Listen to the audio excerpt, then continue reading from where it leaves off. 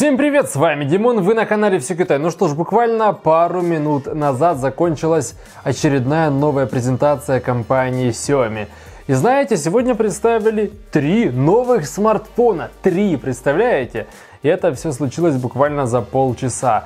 Но дело в том, что я сидел и эти полчаса сходил с ума и ловил офигенные э, фейспалмы. Да уж, короче, друзья, присаживайтесь поудобнее, берите чай, печенюшки, вкусняшки и, наверное, что-то покрепче. Ладно, но перед этим напоминаю, друзья, что я всем вам хочу сказать спасибо, кто донатит, потому что это очень хорошо, потому что минимальная небольшая помощь каналу, это всегда приветствуется. Поэтому, друзья, ссылочка на донаты в описании. А всем, кто донатит, спасибо, а у кого ну, нет денег или он не хочет донатить, то просто напишите что-то в комментариях, а также поставьте лайк данному видео. И я все равно вам скажу спасибо, вы красавчики, ну и красавицы. Признаюсь честно, я сидел, смотрел и охреневал от того, что нам представили. Фух, ладно, давайте начнем говорить про смартфоны, потому что сегодня представили Redmi Note 9 Pro. Вот так вот, друзья. И да, этот смартфон будет продаваться на глобальном рынке. И в Украине, и в России, и в Казахстане. Короче, везде он будет продаваться, потому что это глобальная версия смартфона. Не индийская, скажем так. Давайте поговорим про дизайн, потому что он ну никак, блин, не отличается от индийской версии или же от обычного Redmi Note 9S. Хотя есть отличия. Скажем так, небольшие косметические изменения. С фронтальной и с тыльной части у нас, конечно же, стекло, защищенное горилла пятого поколения. Торцы выполнены, конечно же, из пластика. И сканер отпечатков пальцев находится на торце. Все без изменений. С фронтальной части у нас, конечно же, есть большое каплевидное чудо, которое находится по центру. Ну что ж, экран тут на 6,67 дюйма. Это IPS матрица с Full HD Plus разрешением. В качестве процессора Snapdragon 720G. Набор памяти 664 или 6128. Аккумулятор на 5000 20 мАч. И конечно же 30-ваттная зарядка идет в комплекте. Ну а вот теперь обсудим фишки, потому что они все-таки тут есть. И, во-первых, тут прокачали вибро, потому что тут прям вообще продвинутая вибрация. Ага, есть NFC, хорошо. Защита от брызг, хорошо. Есть инфракрасный порт для управления техникой и, конечно же, USB Type-C и разъем для наушников. Над камерами не заморачивались, они в точности тут такие же, как в Redmi Note 9 Pro Max для Индии. Да, главный модуль на 64 мегапикселя от компании Samsung, плюс ширик на 8 мегапикселей, плюс 5 мегапиксельный макромодуль и плюс бесполезный 2 мегапиксельный типа портретник, да, и фронталочка на 16 мегапикселей. Ну что ж, в целом смартфон адекватный, но прям чего-то крутого я не заметил. Экран обычный, 60 Гц и все. Ну, такое себе, да? Чего-то сверхъестественного нет. Процессор 720G, да, окей, нормальный, но он по факту ничем не лучше, чем э, Helio G90T в Redmi Note 8 Pro. Да и в целом, если посмотреть, то от э, Note 8 Pro, Note 9 Pro мало чем отличается. Он как бы типа лучше, там Qualcomm, там банка побольше, но это не глобальные изменения. И самое забавное, что меня удивило, это, конечно же, стоимость данного смартфона, потому что базовая версия 664 обойдется в 269 долларов.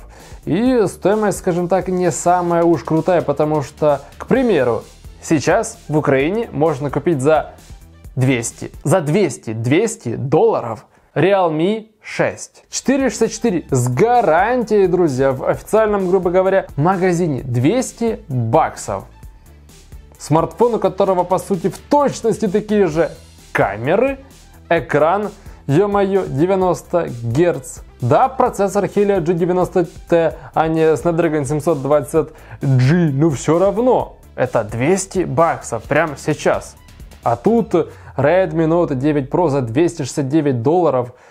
Ну не знаю, как по мне, дороговато, причем очень даже дорого. Если честно, данный смартфон вызвал у меня не так много эмоций, как следующее чудо, которое нам показали. Да, обычный Redmi Note 9. Я ожидал хороший, нормальный бюджетник. Вот такой, знаете, дешевенький, мощненький, прям то, что надо а представили непонятно что.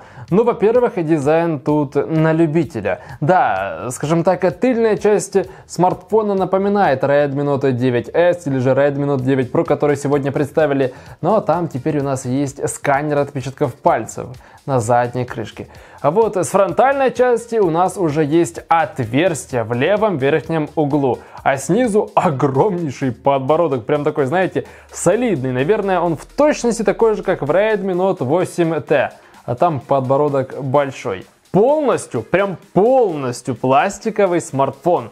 То есть начинка находится в панцире. Это прям такой кокон из пластика. Офигеть! Какой нахрен пластик? Redmi Note 7. Стеклянная задняя крышка, охрененные торцы, как бы типа такой ударопрочненький смартфончик. Redmi Note 8. Пожалуйста, стекло. Чувствуется такой дорогой, хороший материал. Торцы тоже из пластика. И тут Redmi Note 9. Полностью пластиковый смартфон, такой обмылок, который в принципе даже напоминает Redmi э, 8, да, Redmi 8 напоминает структуру данного корпуса. Да уж. Ладно, давайте обсудим характеристики, потому что экран здесь на 6,53 дюйма. Это IPS матрица с Full HD Plus разрешением. Максимальная яркость 450 нит. Частота обновления экрана обычная 60 Гц. В качестве процессора Helio G85 интересное, скажем так, предложение от компании MediaTek. Это 12-нанометровый процессор. Набор памяти 364 или 4128. Аккумулятор большой на 5020 мАч и быстрая 18-ваттная зарядка идет в комплекте. Фишки тут тоже присутствуют. Ну, во-первых, про NFC не забыли. Защита от брызг типа есть. Инфракрасный порт для управления техникой тоже есть. Большой полноценный лоток для сим-карт тоже есть. И разъем для наушников, конечно же, присутствует. Над камерами вообще не заморачивались, потому что фронталочка на 13 мегапикселей, основная квадрокамера на 48 мегапикселей, это сенсор от компании Samsung, плюс ширик на 8, плюс бесполезный еще два модуля по 2 мегапикселя. Короче, камеры в точности такие же, как в Redmi Note 8. Честно говоря, смартфон меня вообще не впечатлил, особенно если вы узнаете стоимость данного смартфона, потому что базовая версия 3,64. Кто, блин, сейчас представляет смартфон с 3 гигабайтами оперативной памяти? Ну, Apple не в счет. Мы говорим про дешевые Android смартфоны. Ой, боже, версия 364 200 баксов. 200 баксов. Блин, еще раз напоминаю, за 200 баксов сейчас можно купить Realme 6. Смартфон, который будет лучше во всем. Прямо сейчас. Ссылку оставлю в описании. Это не реклама, друзья. Просто я зашел, посмотрел, что можно сейчас... Окей, Успокойся, Димон, все хорошо. Идем дальше. Версия 4, 128, 249 долларов. А, кстати, еще забыл сказать, что за те же 200 баксов сейчас можно купить с гарантией там в любом таком топовом магазине Redmi Note 8 Pro. Redmi Note 8 Pro, версия 6.4 глобалочка за э, 200 баксов. Пожалуйста. Я в шоке, я в шоке. Но это лишь мое мнение, свое, конечно же, напишите в комментариях, потому что, возможно, я там не разбираюсь и бла-бла-бла. Возможно, вы считаете, что это адекватные цены за вот такие вот смартфоны. Ну и последнее чудо это Xiaomi Mi Note 10 Lite. И знаете, это прям вообще плевок в душу, потому что по-другому я описать э, это не могу, потому что зачем вообще представлять данный смартфон? Да, все верно, дизайн тот же. Чуть-чуть только камеры отличаются, да, а все остальное без изменений. Вообще прям без изменений. Спереди и сзади у нас защитное стекло. Торцы выполнены из алюминия. Экран на 6,47 дюйма это AMOLED матрица с Full HD+, разрешением и обычная частота обновления экрана. Да, есть, конечно же, поддержка HDR10. Ну и самое, ой, плохое лично для меня это изогнутые края экрана. Да, они тут есть. В качестве процессора Snapdragon 730G. Ой, ё-моё, ни хрена не изменилось. Набор памяти 664 или 6128. Аккумулятор в точности такой же, как в минут 10. Да, на 5260 мАч и 30-ваттная зарядка идет в комплекте. Конечно же в смартфоне есть NFC, продвинутый вибромоторчик, защита от брызг, инфракрасный порт для управления техникой, разъем для наушников. А вот теперь обсудим камеры, потому что фронталка на 16 мегапикселей, а вот основная типа интересная. Главный модуль на 64 мегапикселя Sony IMX 686, плюс ширик на 8 мегапикселей, плюс модуль на 2 мегапикселя от Amacro и плюс бесполезный 5 мегапиксельный модуль для размытия заднего фона. Как вы понимаете, никакой оптической стабилизации тут нет.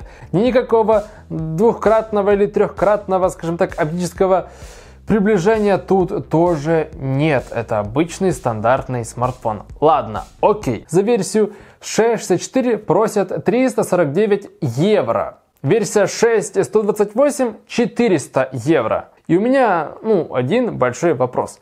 Кому нахрен нужен данный смартфон? Потому что за те же самые деньги можно купить обычный минут 10. Обычный минут 10. Даже вообще не заморачиваясь. Короче, я просто охренел от данной презентации, потому что представили непонятно что. Цены неадекватные. И, скорее всего, буквально через пару-тройку недель после старта продаж цены на данные смартфоны рухнут вниз, потому что конкурентов очень-очень много. Я понимаю, что компания Xiaomi, ну, типа A-бренды, все дела, но, блин, вы так очень быстро растеряете всех своих фанатов. Я конкретно расстроен, потому что за те же самые деньги прямо сейчас можно купить куда, куда интереснее смартфоны. Даже той же компании Xiaomi. Ну что ж, на этом все. Надеюсь, данное видео вам понравилось. С вами был Димон, канал Всекитай. Всем удачи, всем пока. Сидите дома и не болейте. И ждите адекватные смартфоны от компании Xiaomi. Ну, по крайней мере, хотя бы цены, чтобы были адекватные. А они в любом случае будут адекватные. Ну, через пару-тройку месяцев, потому что за такие деньги явно никто не будет покупать эти новые смартфоны от компании Xiaomi. Ладно, всем удачи, пока.